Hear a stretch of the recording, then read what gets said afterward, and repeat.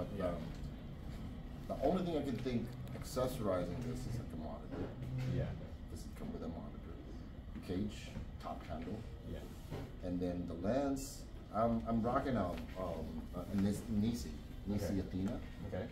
Step in, JP. This is the um this is the what you call this um the PL of Nisi. Yeah. Pretty good for what it is. Um, then you could always always um could always change your mount or your lens ho- however you want. You want to to to use Zeiss Super um, Supreme or Super Speed or Angelo Cooke lenses and stuff.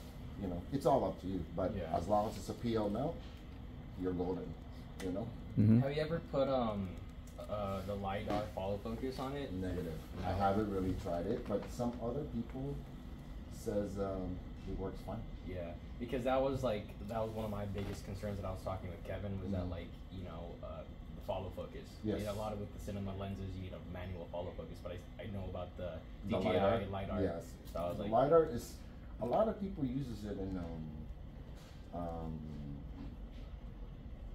Canon, yeah, Canon R5C Yeah.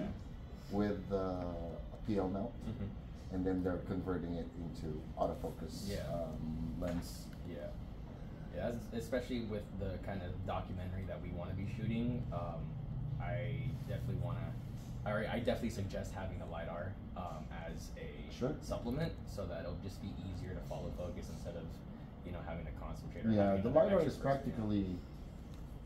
It's like a it's like a beam Yeah. that shoots your Yeah. subject like a Mhm. million beams. Yeah, Just making sure your face is detected and Yeah. you are completely in autofocus. Mhm.